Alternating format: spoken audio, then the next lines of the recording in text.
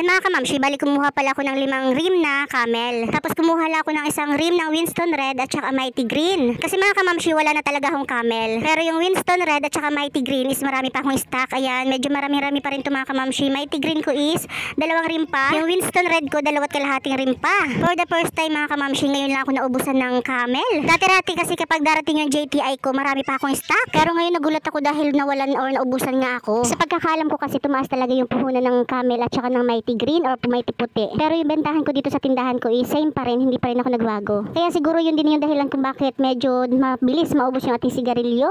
Sa iba yata 7 na yata to eh, kaya siguro naging mabili yung camel ko at saka Mighty.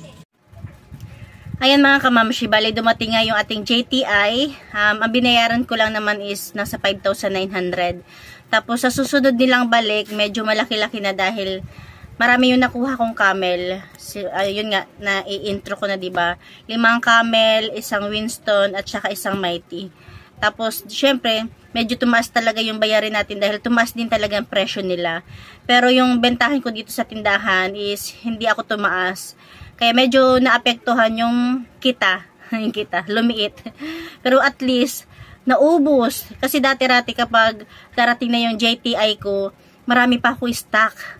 Pero ngayon, halos nasa Iran talaga ako o nasa Idan na isa Iran, nasa Idan ako ng camel.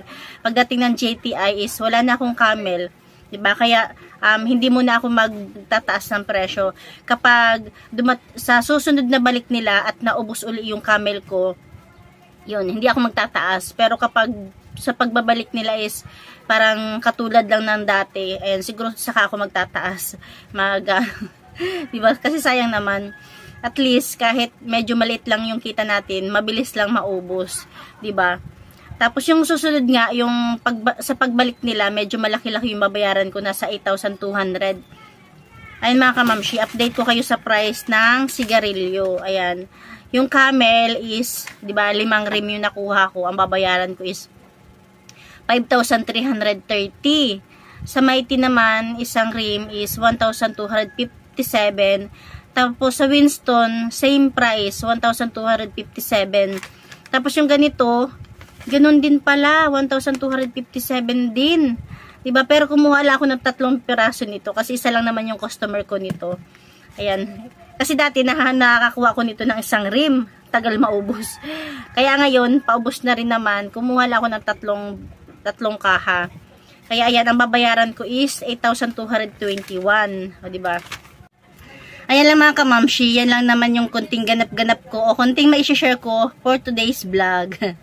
Thank you for watching.